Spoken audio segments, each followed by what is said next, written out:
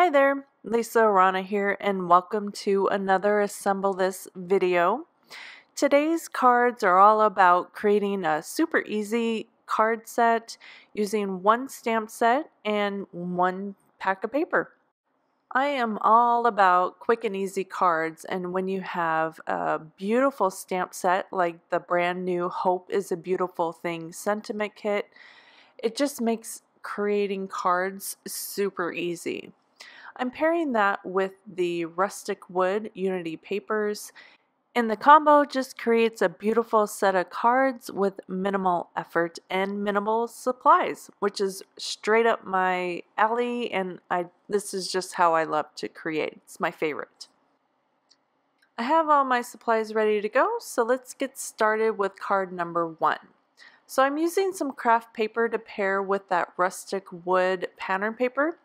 I just took the, the main featured image in the stamp set and I stamped it three times on my kraft paper and then die cut it out with a stitched rectangular die. I'm creating basically a, a pattern background. It really features that beautiful butterfly floral image and just creates a, uh, something beautiful for your eye to look at. That was just stamped with black ink. I'm going to add some foam adhesive to the back here and then pop it up on my card front. I also stamped a matching sentiment on the same kraft paper and then just trimming it down and creating a banner end on one, one side just with my scissors and then I think I'll pop it up in the bottom corner here. I like the placement. Just going to trim that down with my scissors and then just to add a little bit more color and shine and interest, I'm using some washi tape from my stash. You could use pattern paper, you could use um, whatever washi you have that matches your pattern paper that you're going to be using. And I'm just layering up two different types. Again, it just adds a little bit more interest to the card, something more for your eye to look at. And then I'm going to pop my sentiment up on top with some more foam adhesive, line it up with the edge of the card, and that completes card number one. So for card number two, I have my image stamped directly in the center, kind of wonky on that kraft paper, and then I also stamped two sentiments in the corner there, and then die cut it out with a another stitched rectangular die. I have some more of that wood, rustic wood pattern paper on my card front. And then I'm just going to tie some string to the front, just create a bow. Super easy. This is my favorite, favorite, I don't know, ribbon element. I use this all the time. I love this burlap string. Just going to fiddle with my bow a little bit just to get it the size that I want and then trim the tails a little bit. Still fiddling. Feel like you can never fiddle with your ribbon enough. And now that I have it about the size I want, I'm going to kind of see how my panel looks behind that ribbon. I like that, so I'm going to add some foam adhesive, slide it in and under that, that string, and then tack it down.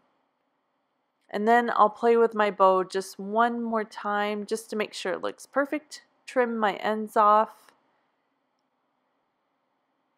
And now all I want to do is add a little bit of Nuvo crystal drops. Just going to add some drops to the front of the card in a set of three. And then make sure you set this aside to dry completely. You don't want to smear it. Um, they are sensitive, so I tend to move my cards around too early, and I didn't let these dry enough, so I kind of smeared them a little bit. But that was card number two. And let's move on to our third and final card.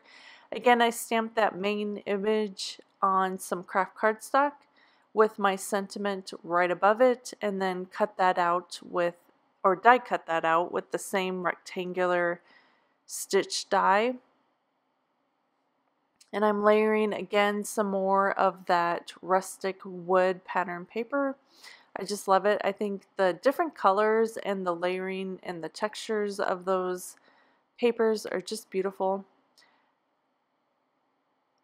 Tying some more string around that orange kind of wood look paper and I'm going to glue that down straight onto my card front at a wonky angle. I just love the way wonkiness looks. I don't know, there's just something about the the angles that is pleasing to my eye. So once I have that down, I'm going to glue my panel, my stamped panel down with some foam adhesive, kind of at an angle again, and then fiddle with my string, make sure my bow is the size that I like, and then I'll trim down the tails at the end here. So to finish this one off, I'm going to add some sequins. They're just gold sequins. I'm using some glossy accents and my jewel picker-upper pencil and just gluing those down. I love the shine and a little bit of movement that the sequins add. And that's card number three. So here's our, a look at our first card again. I love how the, the image just creates almost like a pattern paper when you stamp it three times in the background. And then just a little bit of accent from that washi tape helps pop the, the sentiment up. Our second card has the Nuvo drops and that beautiful stamped image and sentiment in black ink. And it just really pops against the wood pattern paper again. And then our third card, again, just simple stamping in black on kraft cardstock just pops against those pattern papers. And the little bit of string and sequins just adds the perfect touch just makes for uh, something extra special.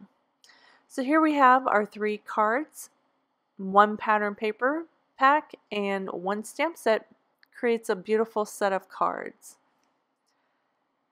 Thanks so much for watching you guys. I'll have the supplies listed in the description of this video.